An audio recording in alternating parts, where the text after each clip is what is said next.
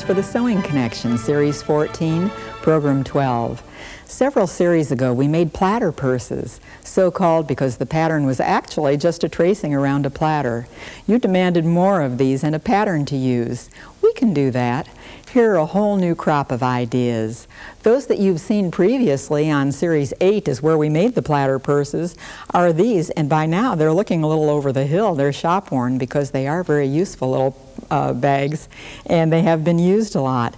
There are about three different varieties here, but let me show you what those varieties are on the new ones that you haven't seen yet.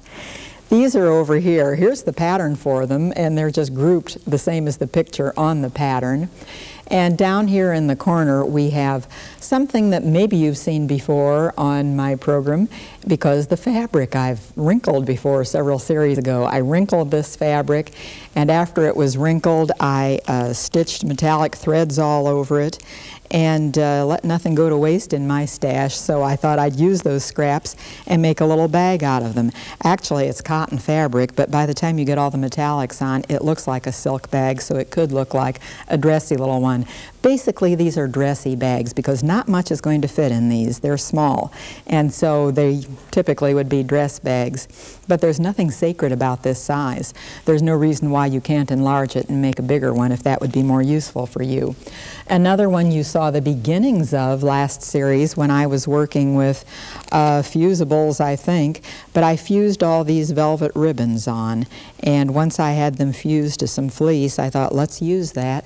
So what I've done since then is put some decorative stitches here between the ribbons just to cover over the edges of them and uh, made it into this bag. Now I guess this is a platter and a half since we have a half platter inside and the whole platter going around the outside. And uh, just any kind of fabrics you want to mix, any kind of trims on it, it doesn't matter. It is very unlikely that you would either dry clean or wash these, so what mixtures you put really make little difference. Here's another one, the same one that flaps over that way. And on this one I used a memory card because it was kind of a new one and I wanted to try out some of the fish on it and see how they worked. So that's what this is. Now what's kind of good about this is it's a hard finished fabric. And if you aren't going to be doing anything as far as upkeep, care, or cleaning of it, it's kind of nice to have a hard finished fabric so that it won't pick up any soil and uh, will stay nice, new looking. Okay, so that was one grouping. Another grouping I have down here, all zip at the top. And if you're going to put a zipper in, it might be nice to have a pull. This one just came probably from a drapery department, and it's a commercial one that I've attached here uh, to the zipper pull. And also on this one, it's really nothing elaborate, a very quick bag. It was pre-quilted uh, lame actually that I have in this. All I've done is make the bag and add those elephants to it. So that makes kind of a fun one. Now this one is definitely fun because uh, these crystal zippers are in. I introduced these, uh, the idea of these crystal zippers last series, but they're very functional, they're very sturdy. Each tooth is a crystal and I have not only the whole bag that zips open, and of course you might put pretty linings in. Typically what I put inside are the leftovers from a blouse or a dress, and just use those up because it doesn't take very much. It's a small amount of fabric in there. This one has a second zipper on the outside, because I just might want to uh, throw my car keys in there or uh, whatever so that I can easily get a hold of them. So there are two zippers here. You can make a whole, if you want a lot of compartments, put a whole line of zippers and put a separate little pocket attached to each zipper and that would work just fine. I also did this one last time, not the bag, but just uh, these because remember that was uh, when I was using some, oh, those telephone um, sticky things that you use for notes. I was just doodling on them, and after I got it through doodling, I thought, say, that wouldn't be a bad design idea. And so I put four of my doodle notes here, cut them out of suedes, and put them on. Now, again, any fabric can be mixed, so it doesn't matter. You could mix fabric in with suedes or uh, just as you like it. This is also a little commercial pull that you can find in the zipper department. They always have them there. Or perhaps they have them in with the buttons, but they're readily available. And uh, again, leftovers from some blouse that I have on the inside of that one. So there's another grouping. Then the grouping that I probably did more of than any of the rest is this one, and this is where you start out with uh, something that looks like this, and then the bottom of it folds up and the top of it folds down, and you have this little clutch bag. So here's the idea for all these. Very, very quick and easy. In fact, this style is the quickest one, and so this one we'll be talking about. Now, what's also fun about this is that it affords the opportunity to use every decorative stitch on your machine because if you have one that's pretty new, you probably have a whole lot of those stitches and you don't have enough places to use them. This is a good place. That's what I've done on this one. You can see that I use the same color thread so it blends in so that it isn't colorful. Didn't want it to be, but you could use every different color thread imaginable. But what I've done here is just do a decorative stitch or a different one each time I did a row of stitching. What I did first of all, because if you just do those straight across, it might get a little monotonous. What I did first of all was draw two lines, and one was this diagonal over here, and one was a diagonal that went over here and I use those two lines as the base to make all the stripes. Now think about when you're going to do decorative stitches and cover one line with a new line later. It would be smart to, for instance, start out on this section and make all these stripes first, and that is so that when you make this stripe, it can cover it if you aren't exact about where every one of those rows started. This heavy line of hearts is what I did here, could cover it up, and so that was a good idea. Then you do all these, and then you'd want to cover that up also. So here's another row that covers it up before I did those down at the bottom. So kind of think through in advance how you're going to do this. And you might start on what does not show. You might start down here somewhere on most of these bags because it's going to be covered up by the flap if you just need to practice or better yet practice on another scrap of fabric. Just because I happen to have buttons in about the same color I put a few of them here. They don't function at all. Any of these little bags I'm showing you now also have a little cord around the outside just for a commercial, a finished look. And without that cord it just doesn't look nearly as flat and nearly as professional. So these cords are easily accessible in any of the notions departments or sometimes in the drapery trims. Uh, one place or the other you can find them. Another one that I have here very similar. Think about a wedding. Do you have one coming up? Do you have about a half dozen bridesmaids to uh, maybe give gifts to, or maybe to carry a flower on these. You can mass produce easily a half dozen of these in an afternoon. And so that might be a very quick and inexpensive gift or a usable part of the wedding uh, wardrobe. What this is, is all pin tucking, just twin needle pin tucking. Uh, you use a double needle and you also use a pin tuck foot and that's the one with the little groove on the bottom side of it. And what that pin tuck foot does is allow all these little tucks to come up inside the foot so that it does give a third dimension there. And uh, this one also I started out by drawing one line.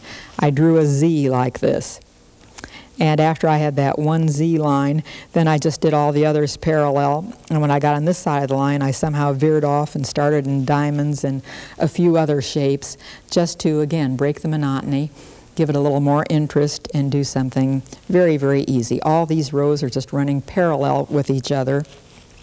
So once you have one row stitched, you simply use the edge of the presser foot and put it up against the row that you've already done and it just makes nice parallel rows.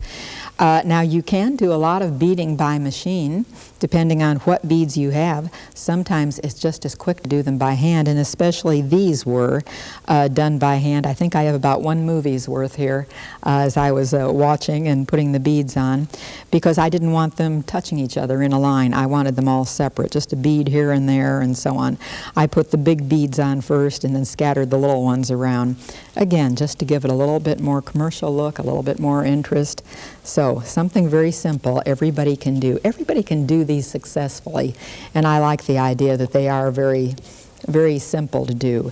Well, this one was fun. I uh, picked as I left someplace. You know, I, have been telling you I've been traveling a lot.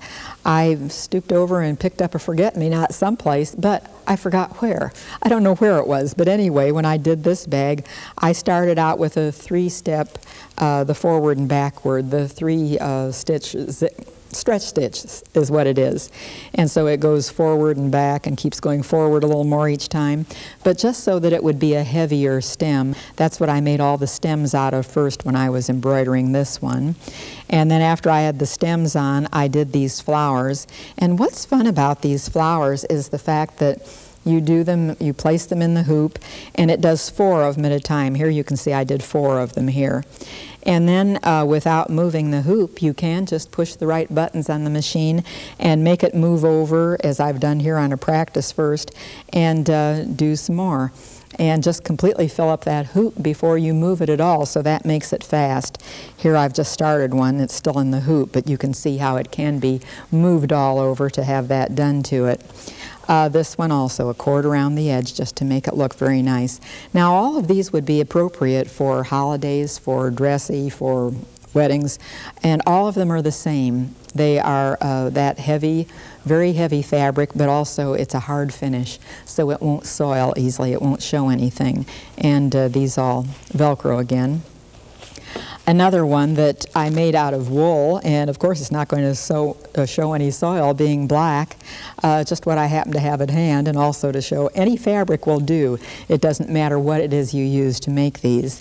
And what I've done on this is embroider from a big embroidery card. Big flowers uh, are on this. So this one I just showed you recently. Um, doing it another way. I was doing some flowers on another project, but they are uh, just really pretty to do in whatever color, metallics in this case, because it's striking, it really shows up. And uh, those are all that are in the pattern, but then I keep on making them. Here I was using just the automatic quilting that's on one of the memory cards, and so this was done in a couple of minutes uh, without my help. The machine did it. Here's another one that I had a little bit of this wrinkled fabric, shibori is what it is actually, and uh, this I stretched out, fused to the fleece backing, and then just stitched some of this suede on it. Well, I stitched, stitched that suede around the edge because I really didn't have quite enough fabric. It didn't cover completely. And so it's always nice to mix fabrics if you need something extra. And the fact that I stitched this suede on, it looks a lot nicer by doing so. Now this suede that I have stitched on here is nothing elaborate at all. It was just simply a matter of making just straight cuts in here, right along the edge. I would just make a little slash there. And then those slashes, as they're stitched on, you can curve this suede around in stitching it on the bag. You don't have to fuse it. It's just simply a matter of pulling it around here and there as you stitch. And it's just very, very easy to do. All these things are attainable. This is one, I have a jacket. In Series 9, I wore this jacket. And this was simply a scrap left over. What I've done to this is embellish it slightly by uh, putting a cord, a little purple cord here, to turn the silver a little purpley because I wanted to use those pretty buttons on it. And so I thought they would go a lot better if I would put a little purple in the bag also. So they're very easy. There is nothing to them, and let me show you what's in the pattern and what are the steps in order to get this done. Uh, those that I have over here, here's the one that both zips. If you put a zipper, you'd put it here at the fold at the top. If it has the flap, you would just flap it over like this and do another half bag here to put inside or this would be the shape of the one that rolls that is uh, in three different sections and this is the one I've done most of those with. Well you can see that doesn't take very much fabric. If I put it down on my cutting mat here I see this one is only 16 inches long and it is about um, how much is that? Way down there. Okay, I'm at the wrong end of the mat to tell you. Uh, it's about 12 inches wide, 13 inches wide, something like that. You can always make it bigger though if you prefer.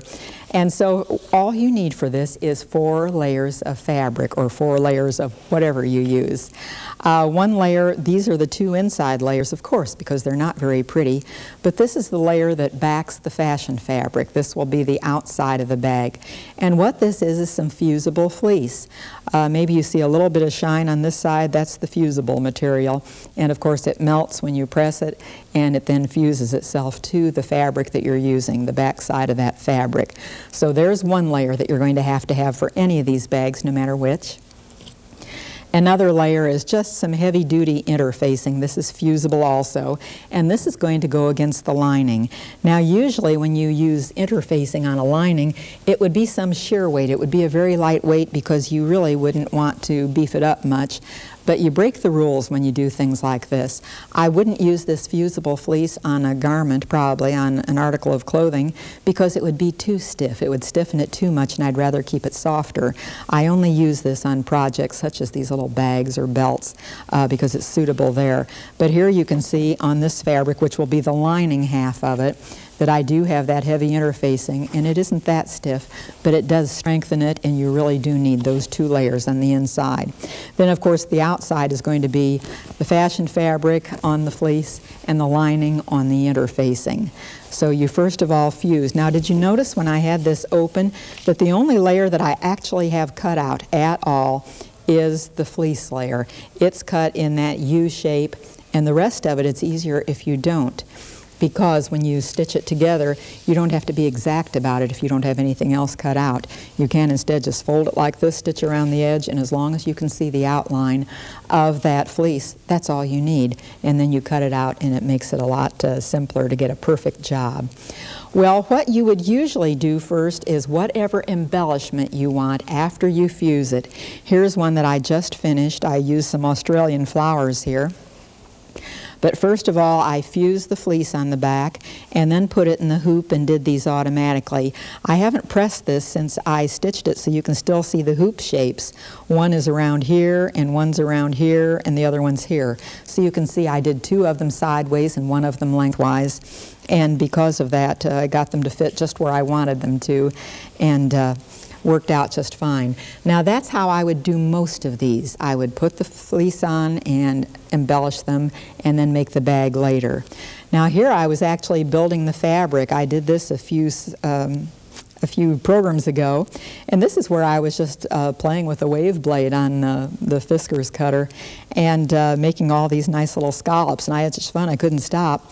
And so that's where all these came from, and some of them are wider on one end or the other, and that's why they fan around this way. And then I have fused the fleece to the back side of it. All I need to do now is trim off the extra, but there's no reason to do it now, really. Uh, you can if you want to, but you're doing the job twice, because after you stitch this on to the lining, you're going to have to cut around there anyway, and so probably you'll wait and do it later. But you can see anything will make a gorgeous bag, any little scraps you have. The only time that you would first of all do something to that fashion fabric before you fuse it on the fleece is if you're going to texture it in some way. For instance, this one, I have a lot of pin tucks all along, just little tucks. They get a little bit spacier as they go along. And so this was done first, then it was pressed, and then after you press it flat, then you fuse the fleece to the back side of it.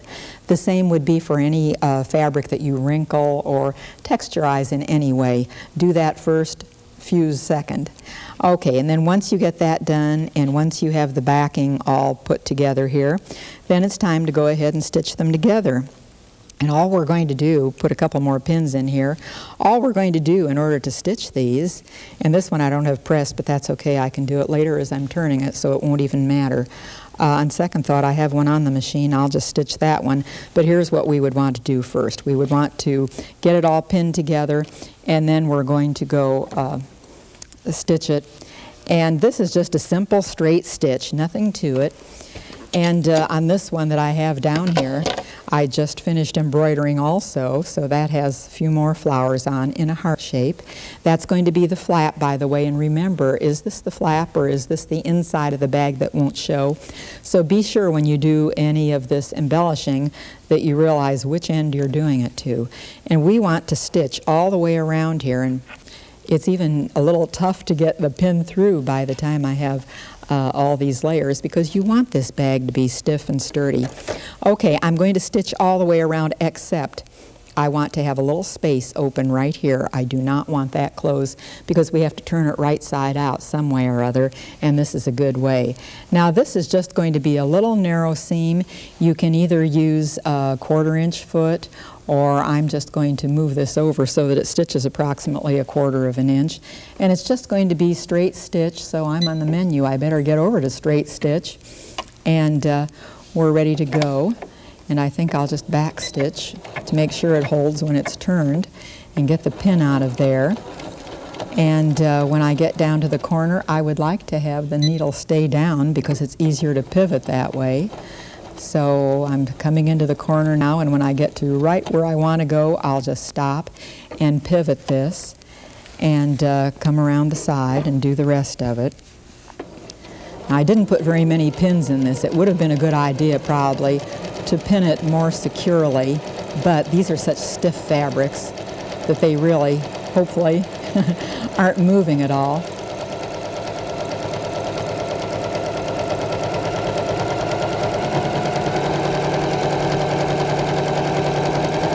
Ah, one pin is all I put in, huh? Okay.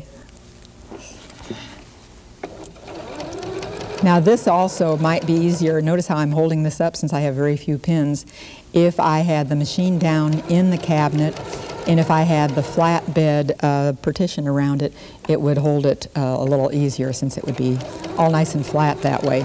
But this will do. If I seem to be doing this rather carelessly, it's really because you can do no wrong on it. It's just going to be a real easy thing to do.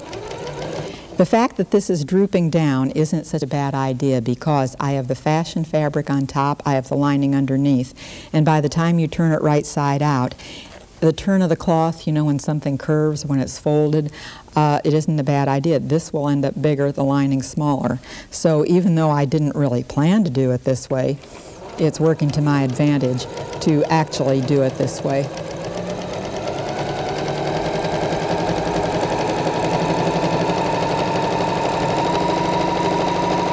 Now, if I would be making a lot of these, such as for a wedding or such as for Christmas presents, um, I would probably mass produce by doing all of them to one point and then doing all of them to the next point. Just because when your mind is in gear and you're used to doing that particular process, it makes it easier if you do it many times. It's quicker in the long run.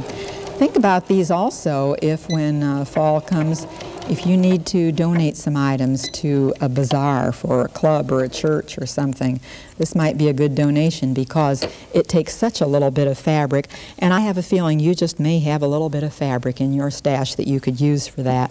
Well, once you have it all stitched, except right here, it's going to have to be turned inside out.